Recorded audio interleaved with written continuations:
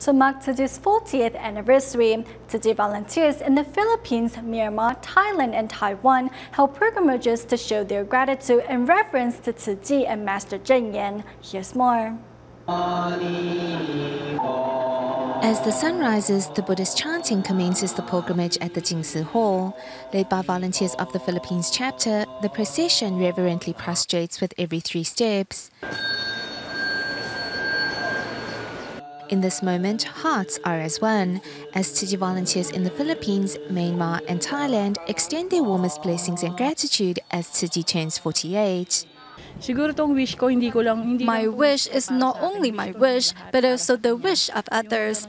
We hope that Master Cheng Yen can have a long life so she can give us more teachings and help more people.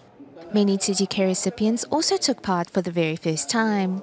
Kaya ako nag-attend din kasi hindi ko I attended because I have never taken part in a pilgrimage before. It's also to express my thanks to Tzu Chi and the Master for helping me through my difficulties.